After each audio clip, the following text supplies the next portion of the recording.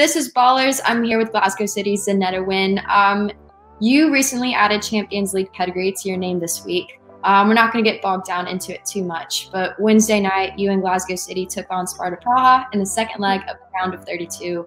In the end, uh, Sparta prevailed, but I can't help but imagine it's still a pretty big rush to play at that level and to play on that stage. So for you, what was that like?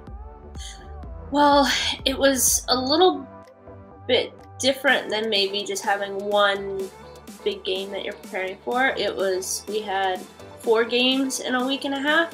So by the time we got to that last game, I was physically felt really tired, but as soon as you get to a certain point in the warm up, you're like, okay, let's go. Like, I'm, I'm ready to go. So you kind of forget maybe how tired you are or mentally and physically. I think the atmosphere is really intense. Like the passing drills get really even sharper. You're like, wow, this is okay. The warm up's real sharp right now because everybody's in this zone.